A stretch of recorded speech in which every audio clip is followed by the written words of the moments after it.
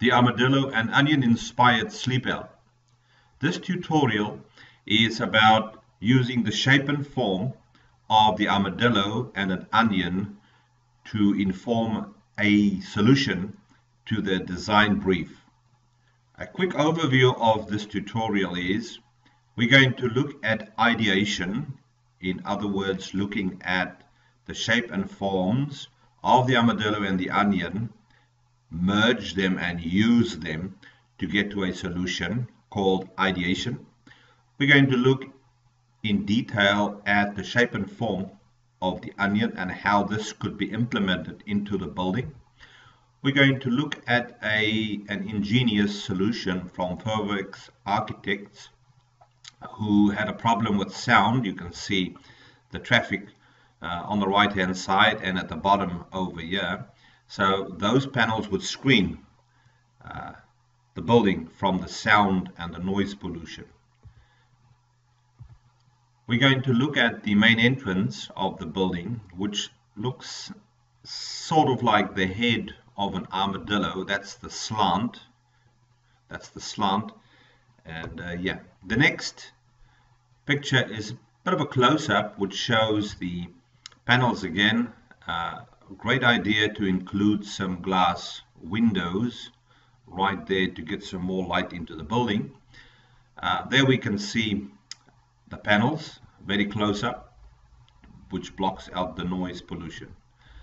We're going to look at a diagram passive solar where the sun hits this building and heats up the panels and the heat gets transferred to the inside. We're going to look at diagram B as well you can see the cars and the traffic, the noise pollution which travels towards the building and where it is screened. We're going to look at a freehand sketch where these ideas started, where you, we have the ribs of the building. Uh, that's the like a dome shaped or arc. The exoskeleton or the ribs and there's lots of detail but we'll come back to that this is a side elevation showing some panels which open and close, retracts, that's retracted out during summer and retracted in into the cavity of the exoskeleton during winter so the sun can get to the inside. A close-up, a comment on the on the green roof, the louvers which would screen the sun we will also look at models from SketchUp. Here, the final solution or the suggested solution is shown where we have some photovoltaic panels, a green roof. We go, we're going to look at the shadows, the deciduous trees, and so on. Another view where we can see the entrance. I'll make some comments about the entrance, which looks like the shape or the head of an armadillo we will look at deciduous trees in this instance and how it screens the sun from the building. We also have a sectional view where we can use SketchUp. We've got a slider not shown here. When once you move the slider to the specific season, month, day, time of day, uh, we can see the result of the trees, louvers, etc. on the building, allowing lots of sun in during summer to heat up the building. That's the passive solar principle. But during winter, uh, the leaves would screen the sun. So, uh, sorry, the leaves would uh, drop during winter and the sun would be able to get into the building. We're going to get back to the slides now and discuss some of the detail. I will use my cursor to explain and show some of the detail. We'll start off with the armadillo shape right here. We can see the arc shape of the armadillo right there and in the closed position it rolls up in a ball to protect its underbelly. We have another arc right there. Looks like ribs which sits on the outside. Typical exoskeleton principle where the skeleton of an animal sits on the outside. We have the onion this is just uh, some design sketches of Marty Bodek, an Israeli architect, on a synagogue in Israel. Just some ideas uh, from him. We have the helmet shape or armadillo shaped building right here with a large glass curtain in front which will allow a lot of sun in. We have this structure in between some buildings in a city. It almost looks like the back of an armadillo. And yeah look look at the interesting texture. If you look up closely you can see this rough like scale like texture uh, on the surface of this building. Another arc and maybe an inverted arc and you can see almost like an like an underbelly. You could even have a glass floor in this building for instance our next slide some more details about the onion inspired synagogue by Marty Bodek uh, if we look at this sketch over here a sectional view which opens it up we can see some vertical louvers which sits over here so in this instance, or this idea, shows that the sun could enter through these louvers and heat up the building, although the outside would also be heated up. It could be concrete. There's just so many ideas uh, which one can come up with. So we could even have a hollow wall where we could have water in between, waterproof, and the sun could heat that up in certain areas or sections or segments of this building. Look at the horizontal layers here. Concrete and steel, reinforcing would probably be the best building material uh, in this instance this shows a building uh, designed by Formwerkz architects in Singapore for a specific family the building's close to the highway you can see the primary highway and you can also see a secondary or tertiary road at the bottom here which would produce a lot of noise. That noise would travel towards the building and using biomimetics or biomimicry, biomimicry meaning we are miming nature, miming the panzer or the panels of the armadillo to screen uh, the noise pollution which travels from the road towards the house. Ingenious uh, solution. Hence, it is called the armadillo house.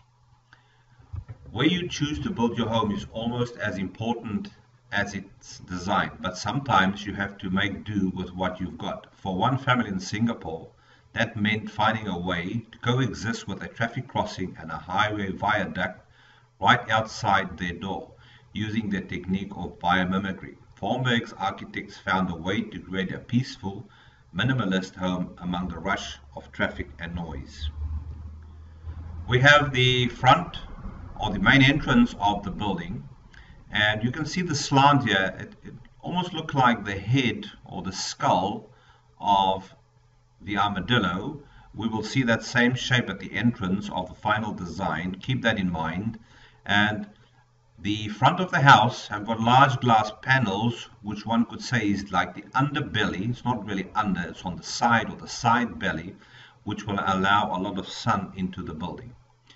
A closer look uh, an interesting idea from the architects uh, was to include some glass panels on the sides to allow more light into the building. A close-up of the specific panels, see how it's staggered to allow light to enter the building. These two diagrams explains two simple principles. The first one in diagram A, passive solar design, uh, where we have the sun and the sun's rays would heat up this panel right here. See the orange color? It, that's warm. That panel is warm to touch. So the blue, which we see over here, is the heat being transferred to the inside of the house, heating up the building during winter. We also have some deciduous trees, deciduous trees meaning that it would shed its leaves during winter, allowing the sun to get into the building, but during summer, the foliage would screen the sun from getting into the building, keeping it cooler. The second principle is insulation against noise. Uh, diagram B shows the sound waves from the primary highway and the secondary tertiary uh, road at the bottom here traveling towards the house. There is a, a wall right there which also assists to screen the noise from the secondary and tertiary road right there.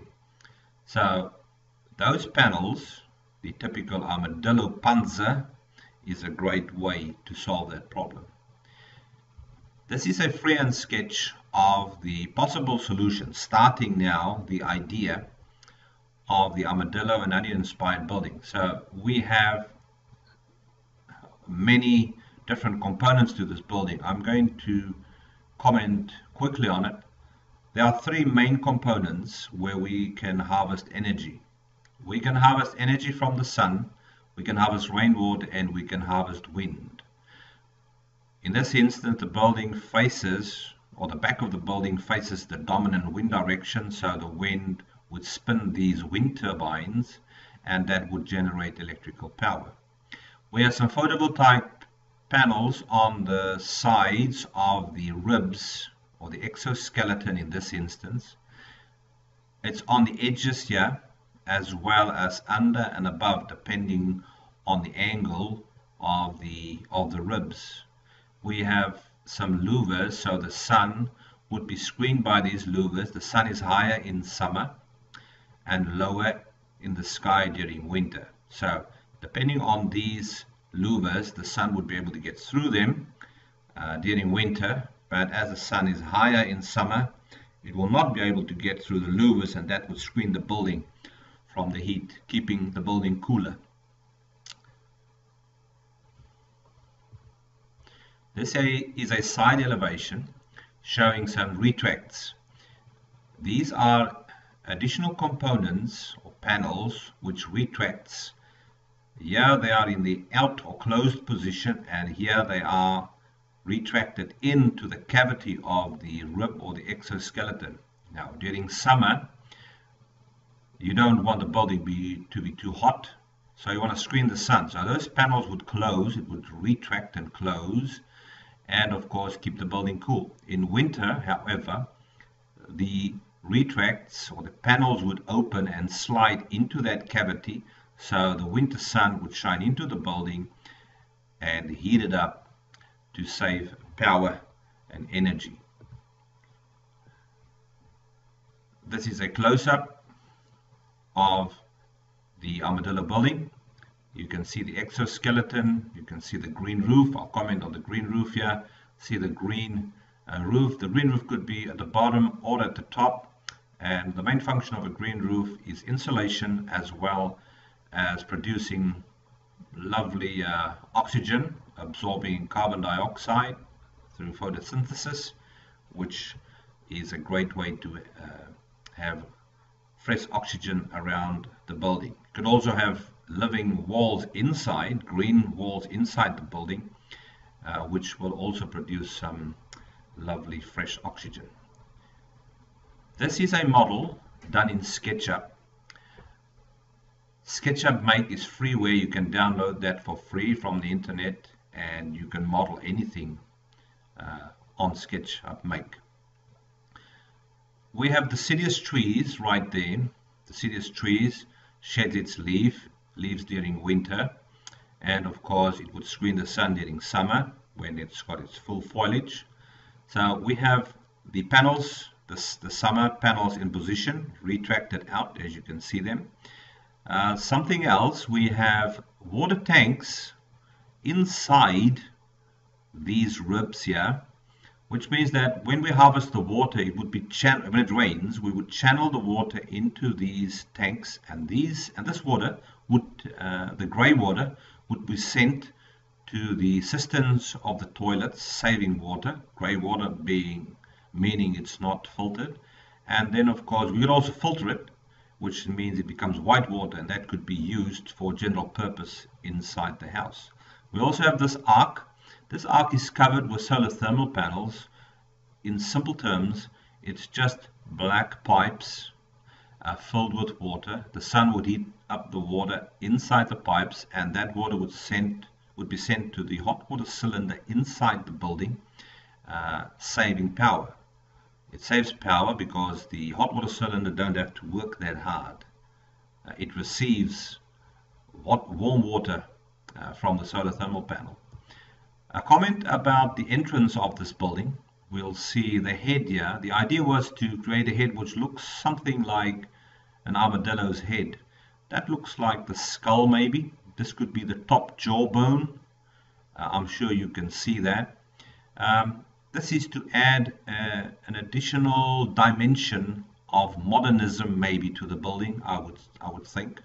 Um, yeah, and the, the brief is design a armadillo and onion inspired building. So we can see the onion, which is the layers right there, or the exoskeleton of the armadillo.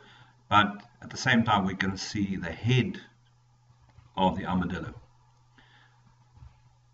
In SketchUp, we have tools, shadow tools. It's not shown here, but it's just a slider. And as you move the slider, you can uh, choose the the season the day of time uh, time of day time of day and so on. So as you slide it these shadows would move and you would be able to assess the amount of sun that gets into the building or the amount of sun that is screened from the building. This is a sectional view and this is the ideal time to use the slider or the shadow tool. When you move that tool or that slider, you will see that the, the shadows and shading would move. It's a dynamic tool, it would move. I'll show that in uh, a next tutorial. Uh, so, sectional views in SketchUp are extremely useful when testing shadows and shading for passive solar design.